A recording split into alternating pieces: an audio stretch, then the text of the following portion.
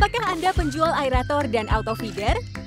Atau Anda termasuk dalam sektor penunjang aquaculture? Ayo berkontribusi dalam meningkatkan produktivitas budidaya ikan dan udang di Indonesia.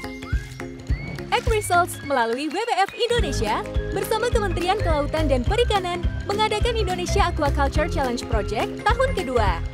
Ada dua jenis kompetisi yang bisa Anda ikuti. Kompetisi penjualan aerator dan auto feeder kepada pembudidaya skala kecil di 8 provinsi target.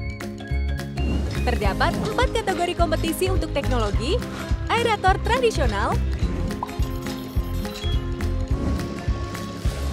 aerator modern, auto feeder tradisional, auto feeder modern. Peserta kompetisi akan mendapatkan hadiah per unit penjualan dan penyewaan. Dengan penggunaan teknologi, panen akan melimpah, menguntungkan pembudidaya dan peserta kompetisi sukses.